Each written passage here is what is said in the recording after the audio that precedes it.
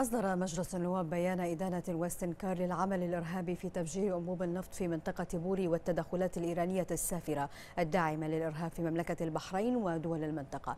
جاء ذلك خلال الجلسة التي عقدها مجلس النواب برئاسة معالي السيد أحمد بن إبراهيم الملا رئيس مجلس النواب حيث قرر المجلس ترحيل بنود جدول أعمال إلى الجلسة المقبلة. شكرا معالي الرئيس. ترحيل ملفات جلسة اليوم إلى الأسبوع القادم وتخصيصها لمناقشة الأحداث الأمنية الأخيرة التي شهدتها مملكة البحرين جراء العمل الإرهابي الذي استهدف أمن البحرين واستقرارها والآمنين في منازلهم وعصب الاقتصاد الوطني. هذا هو موقف مجلس النواب الذي صوت أعضاؤه بأن تفجير أنبوب النفط في منطقة بوري هو عدوان إرهابي وتطور نوعي خطير يجب التصدي له بكافة الإجراءات القانونية. مشيدا المجلس بدور رجال الأمن في حفظ الأمن والممتلكات العامة وأرواح المواطنين والمقيمين.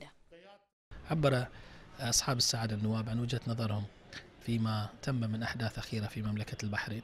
وكانت لهم كلمات تتصور بأنها كلمات موفقة جدا وقفوا مع القيادة ووقفوا كذلك مع الإجراءات التي تتخذها وزارة الداخلية ومنفذي القانون في أي عمل إرهابي يمس أمن واستقرار مملكة البحرين. لابد أن تكون لمجلس النواب وقفة صارمة في جميع في دعم جميع التشريعات الخاصة التي تخدم السلطة التنفيذية. لقطع أيدي المخربين والإرهابيين الذين يعوثون في الأرض فسادا. مجلس النواب اليوم رحل جميع بنود أعمال جلسته العادية و يعني خصص الجلسة لمناقشة هذا الموضوع.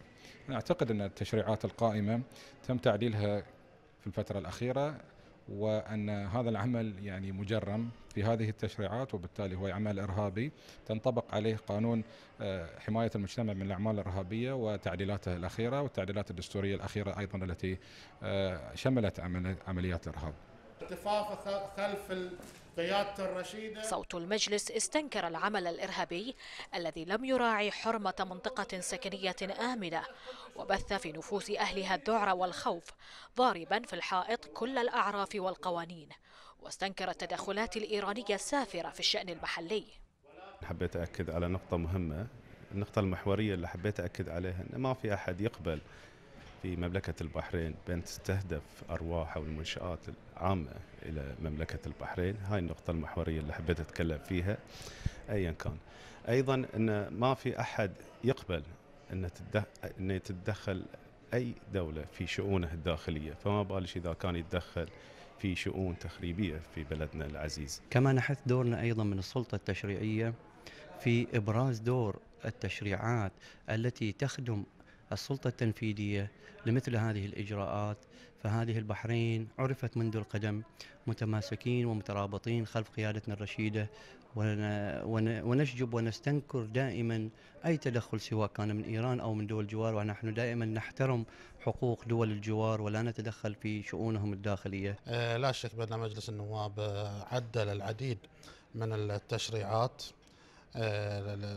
التي تحد من الإرهاب خلال الفترة الماضية والمجلس داعم لكافة التوجهات الحكومية من أجل تعزيز وتعديل أي مشروع يسهم في حفظ أمن واستقرار البحرين. استوجب اليوم علينا ترحيل جدول الأعمال الجلسة جلسة اليوم ومناقشة أو طرح البيان اللي تقدم من أغلب النواب بالنظر في موضوع التدخلات الإيرانية السافرة في مملكة البحرين. واليوم التدخل هذه يعني جدا واضح. هذه الأعمال الإرهابية الإجرامية في حق الوطن والإنسانية تقابلها قوانين وتشريعات تطال العابثين بأمن الوطن وتفوت الفرصة على كل من يحاول أن ينال من مقدرات مملكة البحرين ومكتسباتها التنموية.